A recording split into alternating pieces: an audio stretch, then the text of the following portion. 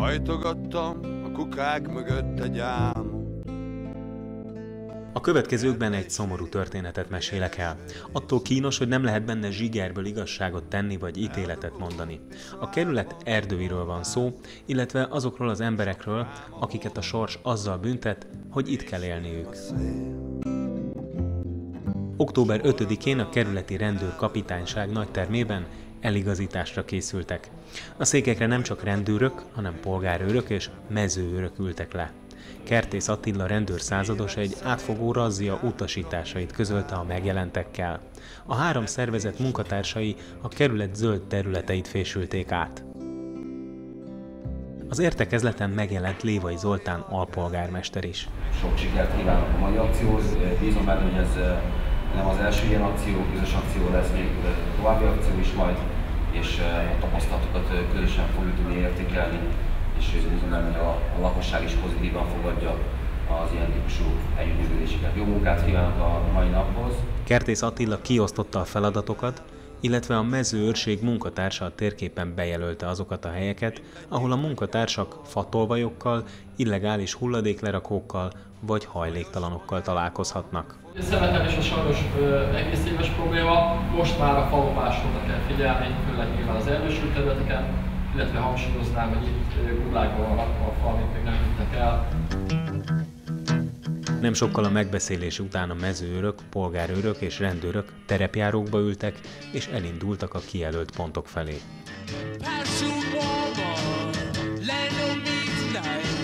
A Péter Halmi erdő szélénél pont e tábla mellett parkoltunk le, néhány méterrel arrébb decens síthalom díszelgett.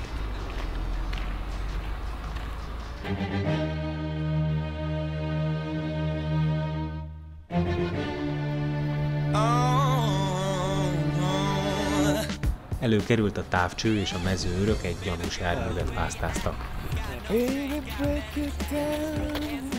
Azonnal el is indultunk. Kiderült, hogy az autó a Pilisi Parkertő gazdaság munkatársaihoz tartozik. A munkások épp a kivágott fákat rakották. Ilyenkor ősszel megszaporodnak a falopások, úgyhogy az értékeket azonnal el kell szállítani.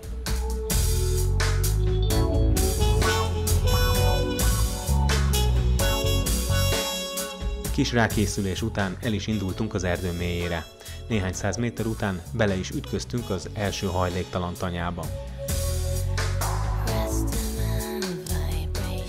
Mindenfelé szemétkupacok, tűzég, nem kell sokat találgatni, hogy honnan származik a tüzelő.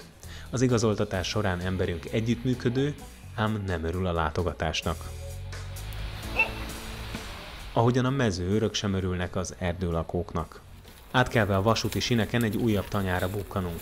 Ezzel a jelenséggel az a legnagyobb baj, hogy az erdőben lakó hajléktalanok teménytelen sok szemetet halmoznak fel, talán látják a képen ezt a hulladékhegyet. Emberünk előjön, előadja a papírjait, aztán menekül is vissza a kuckójába. A razziázók pedig mennek tovább, nincs értelme szabálysértésért eljárást kezdeményezni. Ezt csak akkor teszik meg, hogyha a sátrak mellett nagyon sok tűzifa van felhalmozva. A szemetelést ugye nem lehet bizonyítani. A forgatókönyv itt is ugyanaz, mint az előbb, igazoltatás és néhány kérdés. A mezőrök és a rendőrök ismerik a bácsit, mégis felteszik a szokásos kérdéseket. Jöjjön előre! Itt vagyok. Kutya van? Hát nincs, nincsen, de semmi jóságom, hogy feszülök parancsolni. Öltözök fel, jó? Öltözök fel. Jó napot! Jó napot! Jó, jó. Egyedül. Az asszony nem jött vissza? Nincs nekem asszonyom. Hát de volt. Hát volt, volt. Hát... Ott lelépett?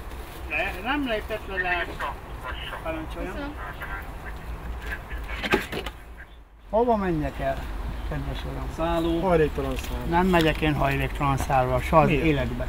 Miért? Nem, mert én magánember vagyok. Én izé nem megyek én senki másnak a csicskáján, meg a rabszolgáján, meg a én zoknemat úgy szeretem, ha én lefekszek, most itt lefeküdtem, jó, elnézést. Lefeküdtem, akkor zokni a lábamon legyen. És nem szeretnék úgy reggel felkelni, hogy zokni meg cipő nélkül. Nem megyek. Nem, nem. A történet ezen a ponton válik hallatlanul szomorúvá. Nem tudom, valaha jártak-e hajléktalan szálló közelében. Lévén forgattam már ilyen helyeken, tudom, ez a világ kegyetlenebb, mint a börtön. Nem csoda, hogy azok az emberek, akiknek az életét kerékbe törte valami, sokszor saját maguk, inkább itt vannak az erdőben, mint sem a hajléktalan szálláson. Reggel három órára fel van, bocsánat, két órára fel van a órám húzva, mert egy órát itt a nagybani piacon ahol gubizni, utána meg megyek a arra területre goberálni, hogy valami meg kell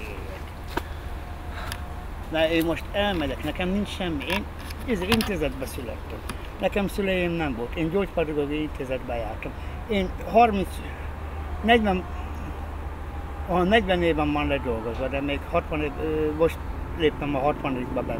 Most én elmegyek dolgozni, mit, nekem milyen pénz? 50 ezer forintot? Abból fizessek alvihezek? Meg egyek?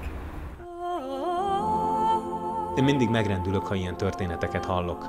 Megértem, hogy a bácsi az erdőt választja. Csak hogy az előbb említett okok miatt ez nem jó.